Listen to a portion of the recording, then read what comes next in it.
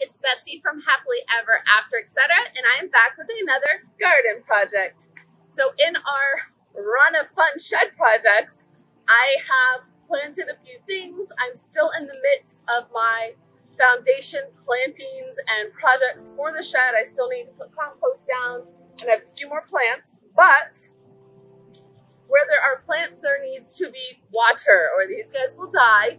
And I really don't want to have to bring a watering can down here every single day for the foreseeable future to water these things, especially since this is a very hot part of the yard and things like hydrangeas need a lot of water. So since this is not my front yard, this is my side yard, I don't have a spigot over here, a faucet that I can just set up a hose or run drip to. I am running water all the way from my back faucet around the side of my house over to the shed. This water is going to give me a hose and it's going to give me a spot where I can hook up drip irrigation both for these foundation plantings, my little garden bed in front of the shed, and eventually for my raised garden beds.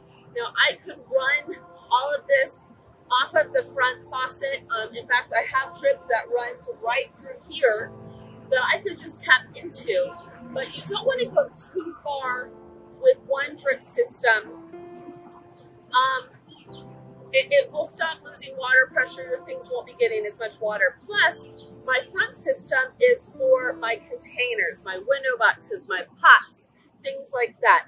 Those things don't need nearly as much water as these foundation plants do, or like the vegetables and fruits will in my raised beds. So I don't want to put them on the same zone. It makes more sense to set up a new system for these plants that need a lot more water for a zone that needs to run a lot longer. So instead of setting up my entire drip system and hoses and just buying crazy long hoses that will come off of my back door, which I cannot access from out here, I have to go all the way in the house, all the way out back.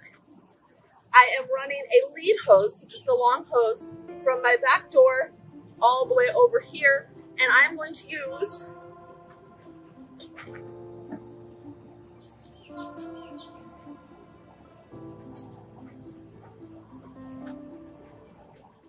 this.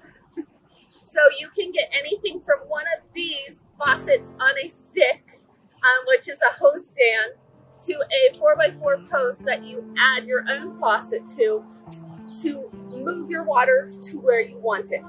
So I'm going to go ahead and I'm going to put this over by the side of my house and this will give me a faucet that I can access from out here. I can add a four-way diverter from this that I can run hoses off of, that I can run a drip zone to the shed and a drip zone to the vegetable garden. Um, this will divert the load from my front faucet, split the load between two faucets, and it will give me a much better way to access water from the shed.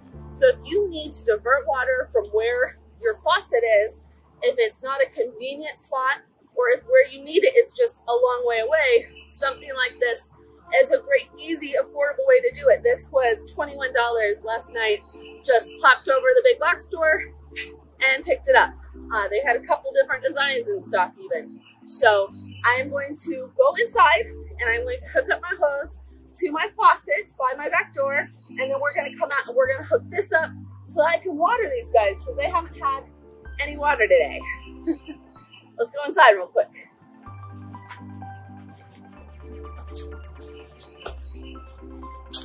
Okay, so ignore my messy dog stairs, but this is the faucet and all, literally all I've done here is connected the hose and turned it on. I made sure it was really tight goes under the stairs here, past the dogs, and over to the shed. Now, I think I don't want the hose running on the ground because I don't want the dogs messing with it. So I think what I'm going to do is put up PVC pipe around waist height here so that it'll blend into the house and run the hose through the PVC pipe and you can see the end here. So we're gonna go over to the shed and hook it up on that side to our faucet on a stick. And uh, and then we will have water out by the shed. We'll be able to water all the pretty things.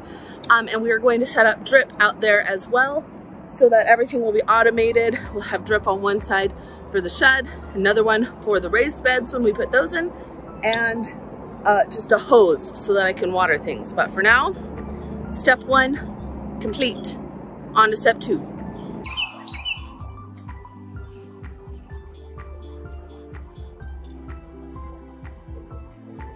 Okay, so we're back out by the shed. You can see where we are from where I showed you on the inside. Here's the hose. Ran it all the way across. It'll be so much better once I get a PVC pipe put up, but in the meantime, this will work fine. So I'm going to put this bag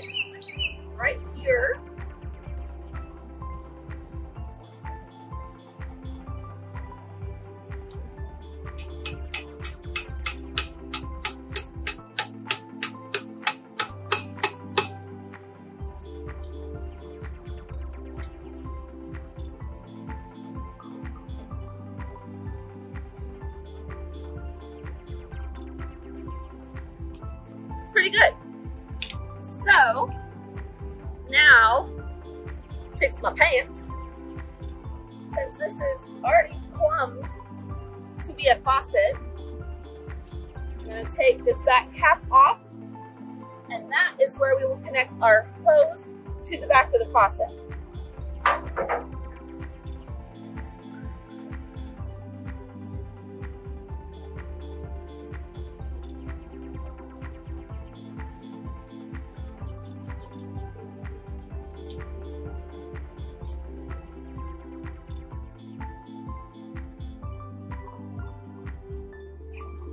That's better. It was pretty kinked trying to go up and over.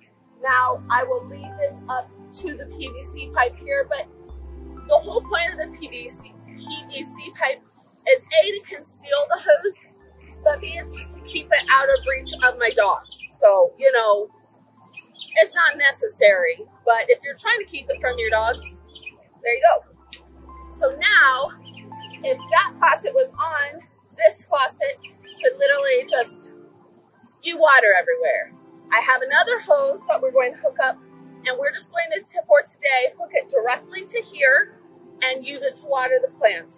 Um, I will, like I said, set drip up to this and in that place I have a four-way diverter in my car um, and I will use that. But for today, we're just setting up a hose, simple, easy, to the point. We will set up drip a separate day. Now, if you want more information on setting up drip, I've set up the drip system at my house to all of my potted plants, um, window boxes, my stock tank garden, the whole nine yards. So I will link to that video down below. We've also set up drip to an entire garden bed over at my mom's house. So if you want to see how to set it up either out in the landscape for a big garden bed or for pots, I will link to both of those separate videos below so you can check it out. Hope you can hear me over the air conditioner because it is going. I'm trying to speak up, but I guess if this is a voiceover, you're not even listening.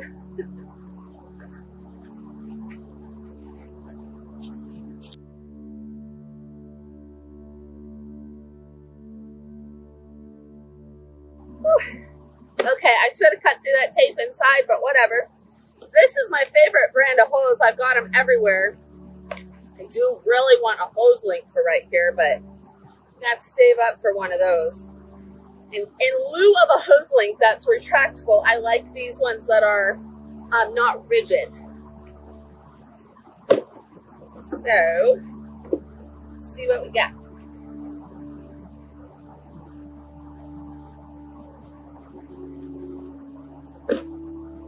I wanted to just plop it on there, but that's not the way they're coiled, so well.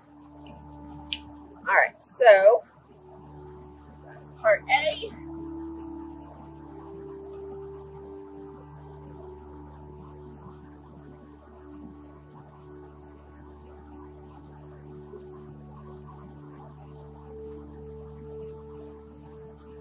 Part B. I'm going to put this one with a nozzle sprayer.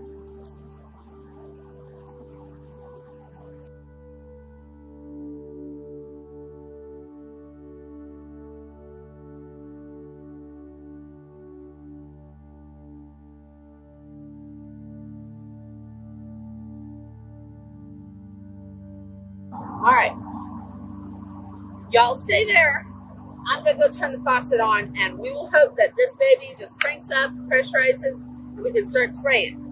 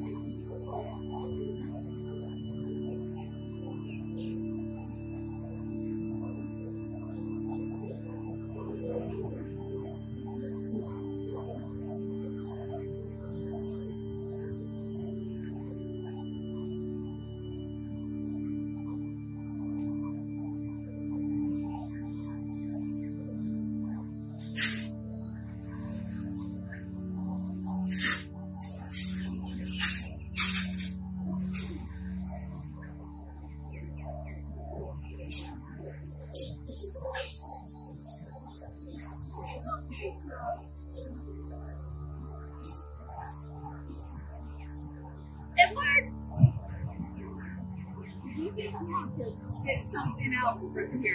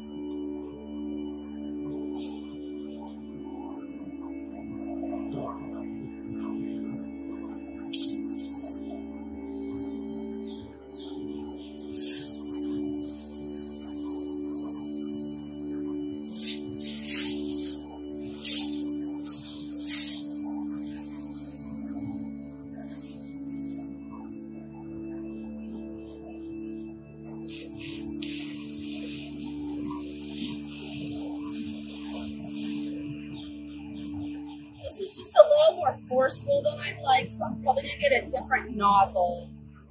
But have water, it's working.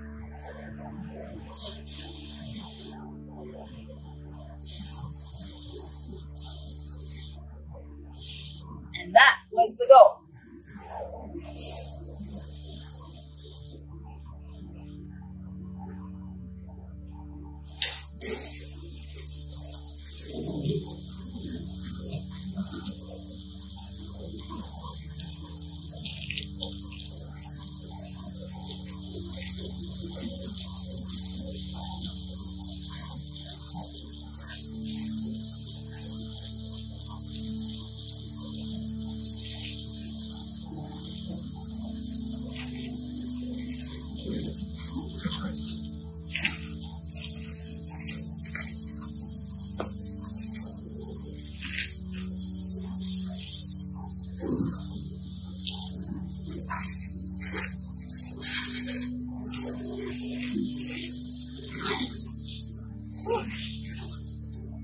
This rain is going to make keeping the bottom of this shed white hard.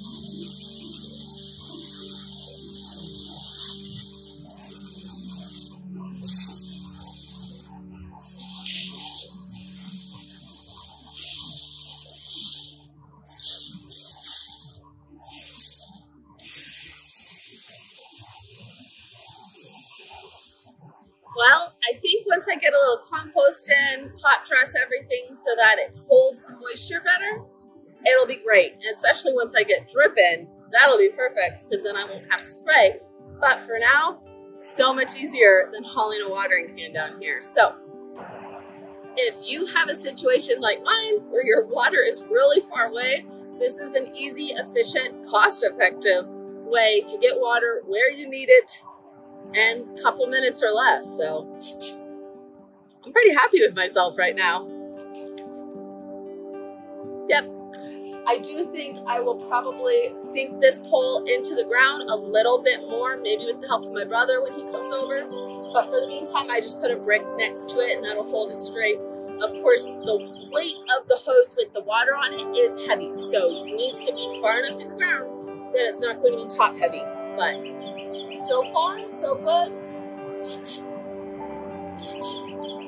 Yeah, just a little, sink it a little more and we're good to go. But I hope you guys liked this video. It was quick and easy. I almost didn't make it. I almost just put it in, but it took me a while to figure this out because I've never needed to get water this far before. So I figured if I had this question, y'all probably did too. So I hope this helps somebody and I'll see you in the next one. Bye.